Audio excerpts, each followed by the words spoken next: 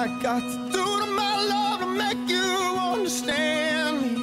Where do I find the peace in your heart to keep you satisfied?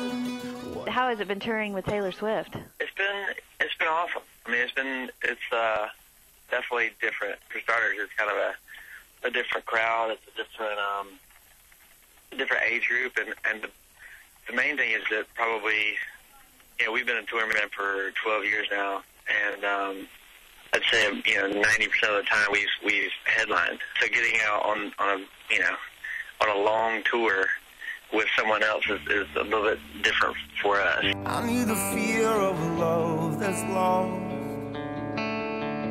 I need to stop trying to count the cost.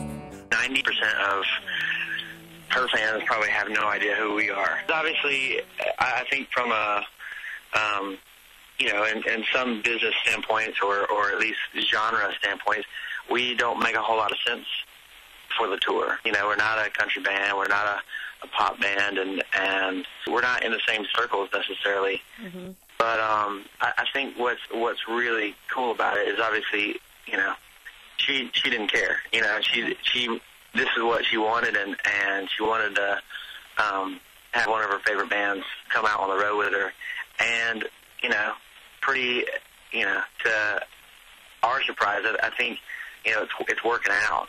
Her fans are digging what we do, and for us, it was it was a no brainer. Never leave home, never let go. You'll never make it to the great unknown till you keep your eyes open, my love, for something. you get out in front of, you know, maybe, you know, a million and a half people on this tour, two million people um, during the course of this tour, and most of them have, you know, have never seen us or heard us. Right. Um, I think that's the like the the goal of every band is, is maybe not for everybody that loves them, but um, at least for us to get the chance to to try to, you know, prove that we've got something, um, you know, something great